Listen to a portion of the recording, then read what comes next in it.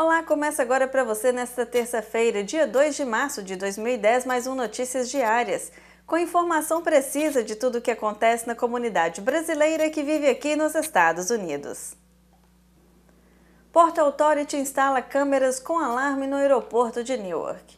O Port Authority of New York e New Jersey instalou alarmes nas câmeras de vigilância do Newark Liberty International que alertarão imediatamente os seguranças se o equipamento falhar. Além disso, o órgão iniciou uma auditoria ampla nos processos de segurança em todos os aeroportos da região. Tais ações são resultado do incidente ocorrido mês passado, quando um estudante de biologia burlou a segurança para dar um beijo de despedida na namorada em uma área restrita do Liberty International Airport. Comissários do Port Authority reuniram-se com toda sua administração essa semana em Manhattan, Nova York. Presidente do New York Transit quer evitar aumento de passagens e pedágios.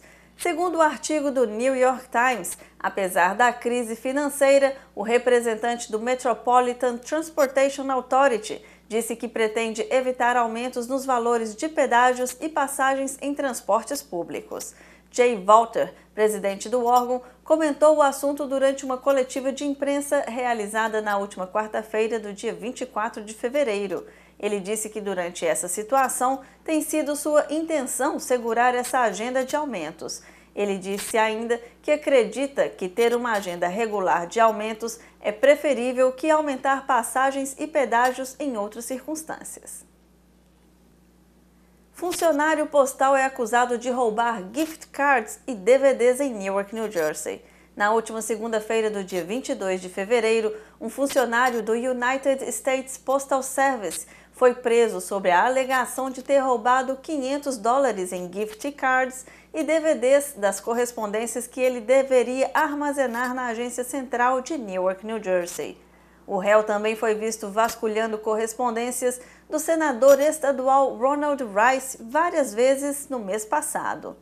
Kevin Jones, de 56 anos, funcionário há 27 anos na empresa, é o quinto empregado preso sob acusações de roubo desde que a Promotoria Pública e o US Postal Service instauraram uma investigação conjunta no combate ao roubo envolvendo funcionários nas agências do condado no verão do ano passado.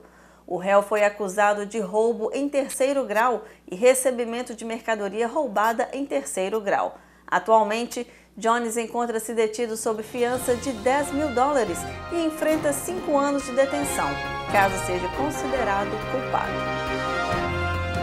E o Notícias Diárias desta terça-feira fica por aqui, mas estaremos de volta amanhã com muito mais para você. Até lá!